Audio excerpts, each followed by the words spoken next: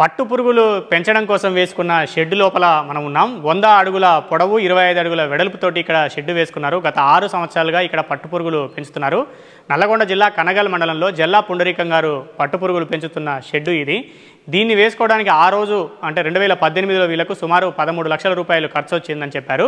ఇందులో నాలుగు లక్షలు ప్రభుత్వం సబ్సిడీ ఇస్తే మిగిలిన డబ్బులు తాను సొంతంగా ఖర్చు పెట్టుకున్నారు. ఇంకొక లక్ష రూపాయలు డ్రిప్కి అయితేనేది నేత్రికలు చంద్రికలు పరచుకోవడానికి కూడా ఒక లక్ష రూపాయలు ప్రభుత్వం నుంచి సపోర్టు లభించిందని తాను చెప్పారు. ఇప్పుడు కూడా ఎవరైనా ఈ పట్టు పురుగుల షెడ్ కానీ వేసుకోవాలనుకున్నా పట్టు పురుగులు సాగు చేయాలనుకున్నా రెండున్నర ఎకరాలు ఒక యూనిట్గా తీసుకొని ఆ ప్రభుత్వం నుంచి మొత్తం ఏడున్నర లక్షల రూపాయలు ప్రాజెక్టు డిజైన్ చేశారు. దాంట్లో సగం ప్రభుత్వం చెల్లిస్తే మిగిలిన సగం రైతు వాటాగా చెల్లించుకొని చేసుకుంటే మంచి అవకాశాలు ఉన్నాయనేది పుండరీకం గారు చెప్తున్నారు.